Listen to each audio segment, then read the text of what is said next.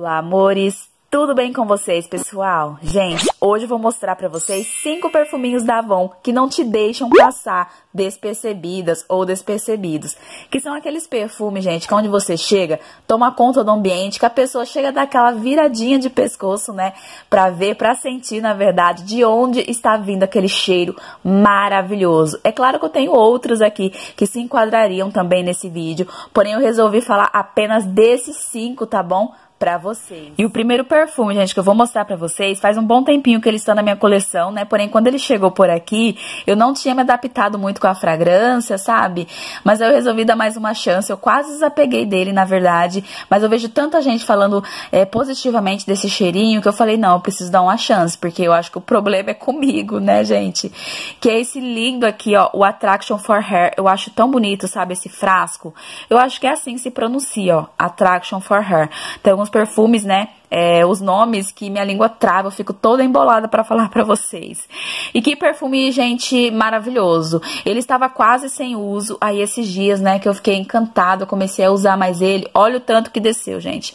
Preciso usar com um pouquinho de cautela, porque ele, infelizmente, né, é um perfume que foi descontinuado, não está mais em catálogo. Eu acho que consegue ainda se encontrar pela internet, mas confesso, gente, não tenho muita paciência, né, de esperar correio. Mas vale muito a pena conhecer, viu? E com certeza certeza, ele assim não te deixa passar despercebida jamais. É um perfume marcante, sabe? Ele é amadeirado, porém é um amadeirado assim diferente.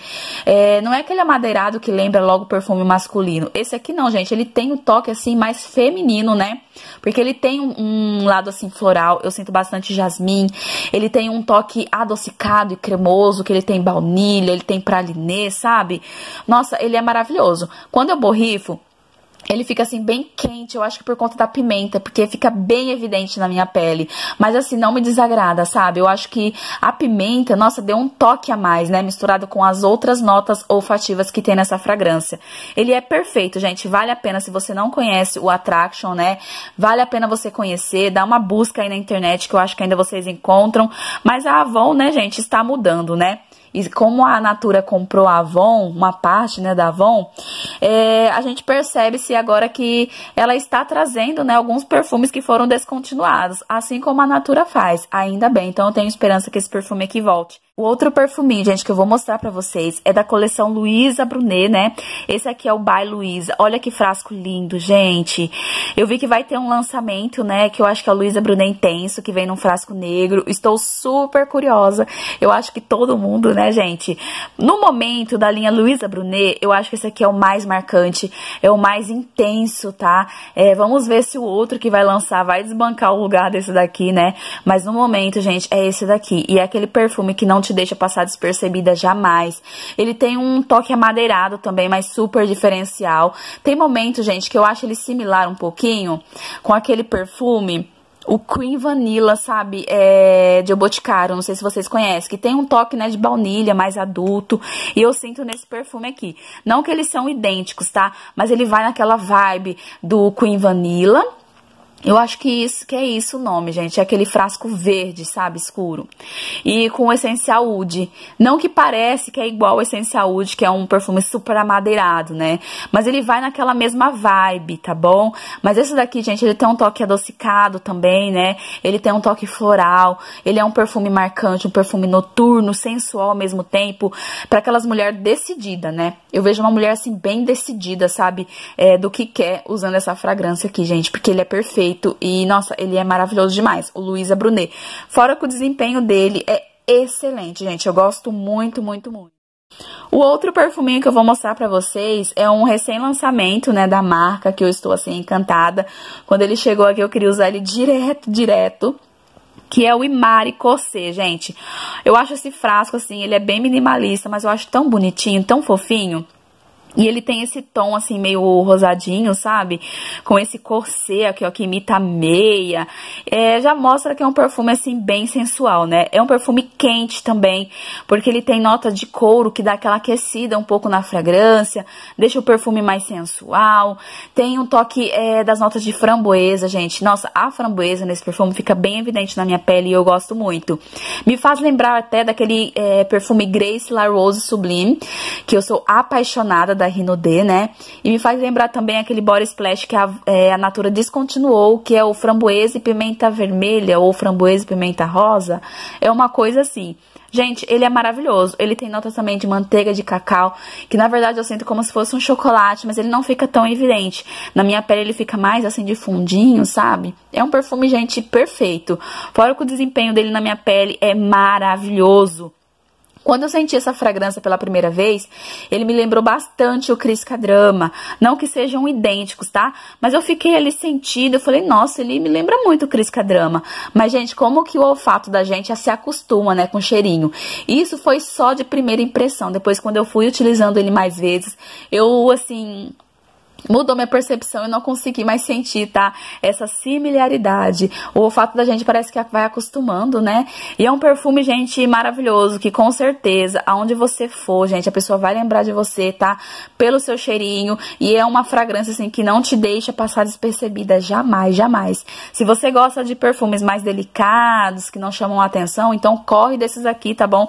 Que eu vou mostrar pra vocês. O outro perfume que eu vou mostrar pra vocês, gente, já é da linha Faraway, né? Não tem como não mostrar algum da linha Faraway, porque, na verdade, toda a coleção é, Faraway, gente, é, chama atenção, né? É, a pessoa, nossa, ele é marcante. Onde você for, todo mundo vai sentir. Pode ter certeza que toma conta, assim, do ambiente, né? E dessa vez eu vou falar do Faraway Glamour, que vem nesse frasco negro, que é a coisa mais linda desse mundo. Eu acho lindo esse frasco. Fora a fragrância, assim, que é super sofisticada super trabalhada, super elaborada, maravilhosa.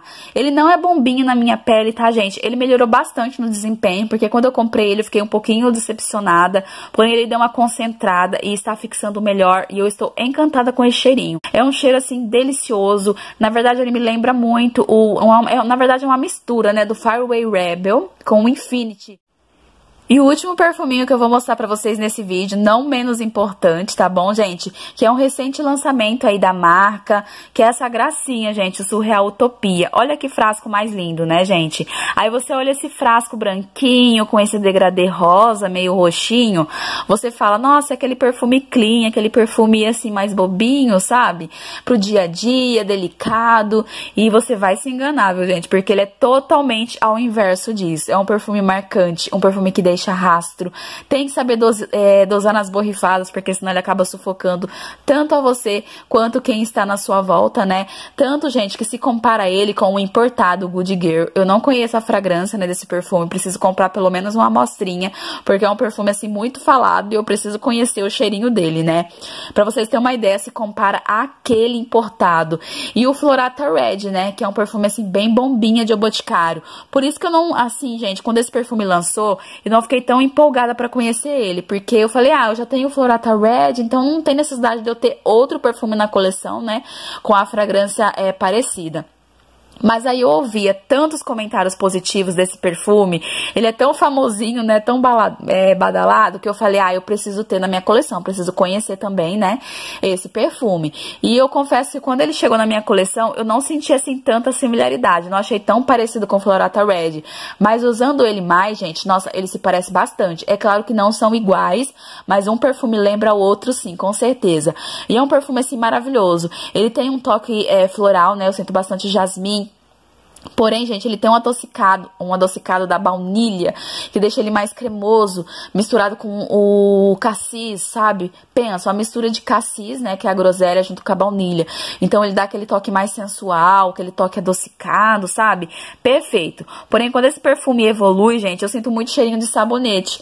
Pra mim, na minha opinião, na minha percepção, eu sinto ele bem assabonetado. Ele me lembra algum sabonete que eu já usei, né? É, tem estoque cremoso. Ai, gente, ele é perfeito, viu? Maravilhoso maravilhoso, vale super a pena vocês conhecer. Na minha pele o desempenho dele foi maravilhoso. E se você gosta de perfumes, né, que não te deixam passar despercebida, então você precisa ter, né, um surreal utopia para chamar de seu, tá bom? Na coleção.